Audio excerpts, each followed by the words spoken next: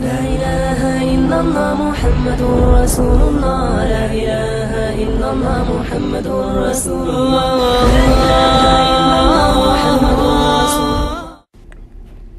بہت دفعہ یہ سوال لوگ کرتے ہیں کہ کیا میں ایسے شخص کے پیچھے نماز پڑھ سکتا ہوں جس کا تعلق کسی دوسرے مسلک سے ہے؟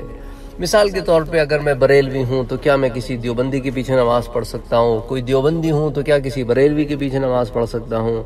اہل حدیث کے پیچھے نماز پڑھ سکتا ہوں؟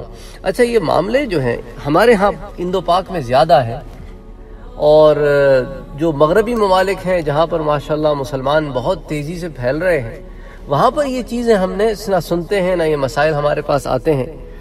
اس کی ایک وجہ یہ بھی ہے کہ ہمارے ہاں جو ہے اس چیز کو کافی رجحان دیا گیا ہے مسجد کے ممبر سے اور مختلف جگہوں سے۔ اب سوال یہ پیدا ہوتا ہے، میں چھوٹا سا سوال کرتا ہوں کہ آپ دوسرے مسلک کے بندے کے پیچھے، امام کے پیچھے نماز جو نہیں پڑھنا چاہتے یا آپ کو ایسا لگتا ہے کہ نماز نہیں پڑھ سکتے، تو اس کی کیا وجہ آپ کے ذہن میں کیا ہے؟ کیا آپ سمجھتے ہیں کہ وہ مسلمان نہیں ہیں؟ کیونکہ نماز صرف مسلمان کے پیچھے ہو سکتی ہے، غیر مسلم کے پیچھے نماز نہیں ہو سکتی۔ اب ایک بات بڑی غور سے سنیں۔ حضور اکرم صلی اللہ علیہ وآلہ وسلم کی یہ حدیث طیبہ ہے، حدیث مبارکہ ہے۔ حضور نے فرمایا، صلی اللہ علیہ وآلہ وسلم، ایک مسلمان اگر دوسرے مسلمان کو کافر کہے اور جسے کافر کہا جا رہا ہے، وہ کافر نہیں ہے، تو یہ فتوہ پلٹ کر کہنے والے کی طرف آ جاتا ہے۔ بڑا غور سے اس بات کو سنیں اور سمجھیں کہ اگر آپ کسی کو کافر کہتے ہیں اور وہ مسلمان ہے اور اگر وہ کافر نہیں ہے اللہ کی نظر میں، تو فتوہ پلٹ کر آپ پر آ جاتا ہے جو کہہ رہا ہے۔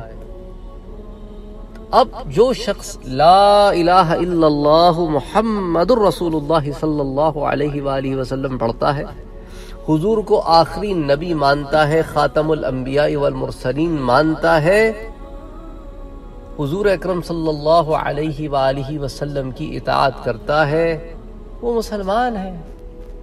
ہاں یہ اور بات ہے کہ ایک مکتبہ فکر کے جو علماء ہوتے ہیں، ان سے علمی اختلاف ہو سکتا ہے دوسرے مکتبہ فکر کے علماء۔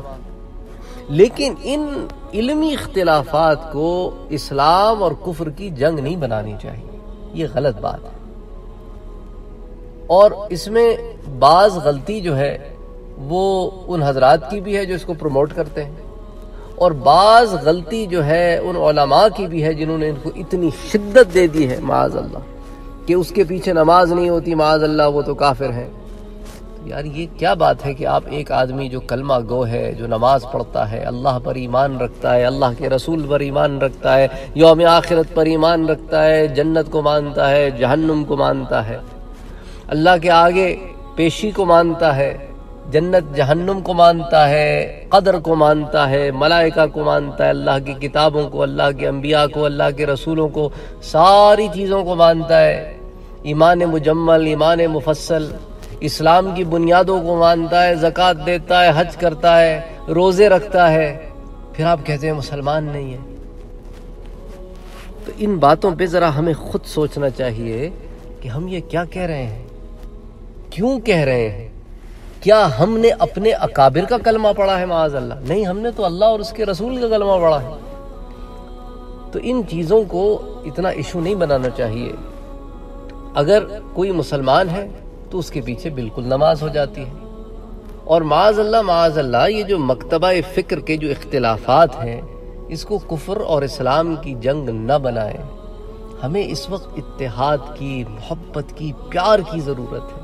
ہمارے ساتھ مسئلہ یہ ہے کہ جب ہم تھوڑے ہوتے ہیں نا تو ہم مل کے رہتے ہیں۔ جب ہم زیادہ ہونا شروع ہو جاتے ہیں نا تو ہر ایک کو اپنی الگ مسجد چاہیے۔ ایک الگ اس کو چمک چاہیے۔ ایک الگ بڑھوتی چاہیے۔ ایسا نہیں کرنا چاہیے۔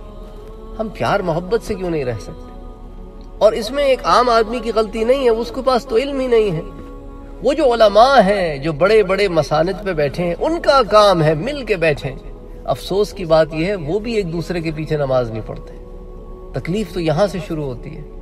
وہ بھی ایک دوسرے کے پیچھے نماز نہیں پڑھتے۔ اللہ سب کی ہدایت کا فیصلہ کرے۔ بے، تو بس اس حدیث، یہ حدیث رسول میرے لیے کافی ہے کہ اگر تم کسی مسلمان کو کافر کہتے اور وہ کافر نہیں ہے، تو پلٹ کے کہنے والے پہ بات آ جاتی ہے۔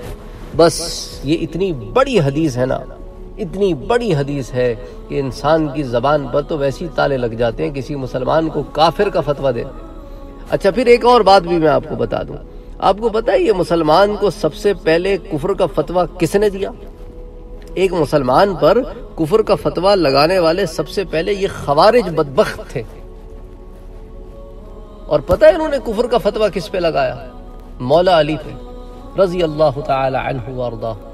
ان پہ لگایا۔ تو اب آپ یہ دیکھیں کہ ایک مسلمان کو کافر کہنے کی طرح کس نے ڈالی؟ ہم ان لوگوں کو فالو کر رہے ہیں۔ اس لیے اللہ تعالی ہم سب کی ہدایت کا فیصلہ فرمائیں اور ہم سب کو حق نصیب فرمائیں اور میری بہت درخواست ہے، میں چھوٹا آدمی ہوں، ذرے برابر بھی نہیں ہوں، علم بھی کوئی نہیں ہے میرے پاس، جاہل آدمی ہوں، یوں سمجھ لیں۔